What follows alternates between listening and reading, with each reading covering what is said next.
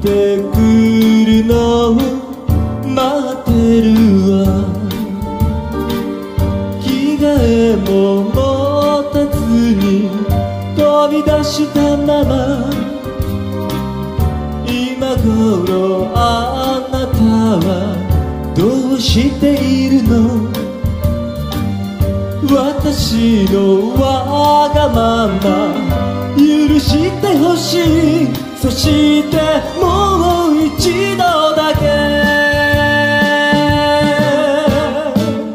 二人で一緒に暮らしましょう。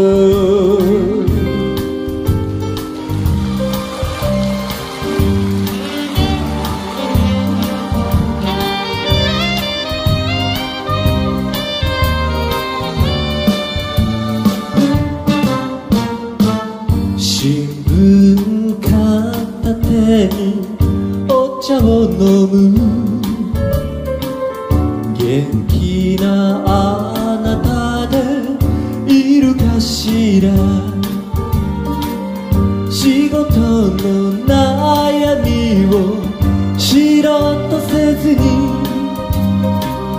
些細なことから喧嘩もしたね。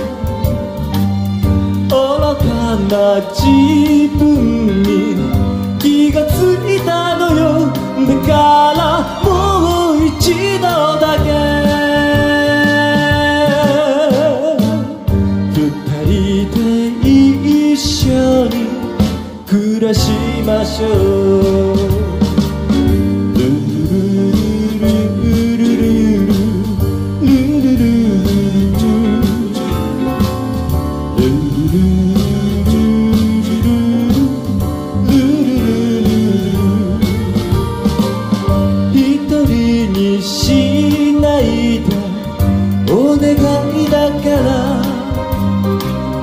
何にも言わずに帰ってほしい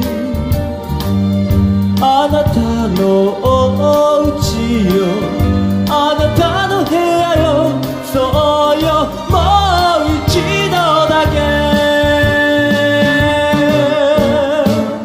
二人で一緒に暮らしましょう